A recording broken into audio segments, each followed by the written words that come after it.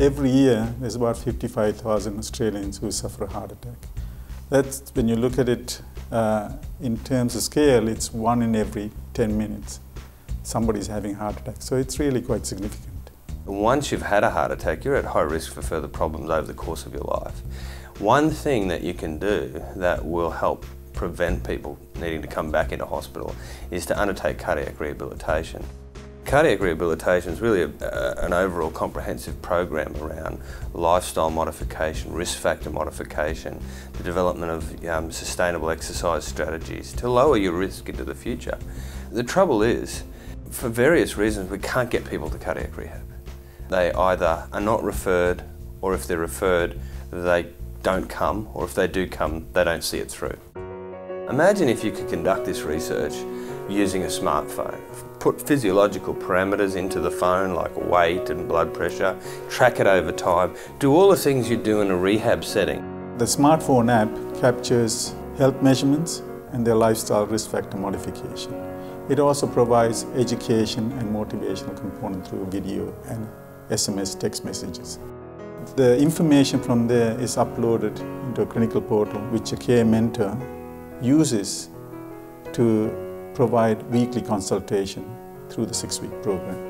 We could get twice as many people through using this technology than we could if we just referred them to a community-based rehabilitation program.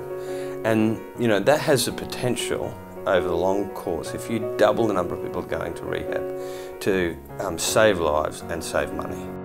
The smartphone helps them to complete the cardiac rehab program simply because it aligns with the patient's daily routine.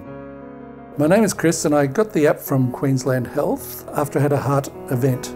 The app prompted me with my rehabilitation every day.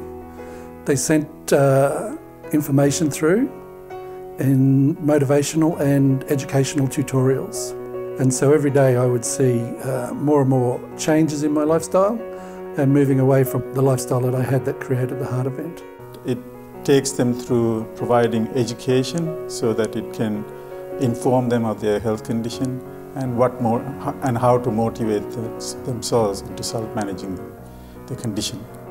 Managing my own rehabilitation certainly gives you a certain amount of empowerment that you're not having to rely on going to the doctors or going to some sort of health professional all the time. CSIRO have been a pleasure to work with. I mean, finding someone who will partner and make your concepts or your ideas and turn them into a, a, reality, that's, that's been, you know, very satisfying. It's been an incredible journey. Without working with Queensland Health, we wouldn't have actually been able to deliver the care delivery that closely aligns with what is currently provided in the traditional setting. We have demonstrated, wow, this works. People have embraced the technology and that's the exciting phase. We've embedded this now in usual practice for people and we're currently transitioned it into a, a real option for people uh, in Metro North and in West Moreton. And I think this trial for the first time gives you that level of evidence and confidence that these new interventions do work.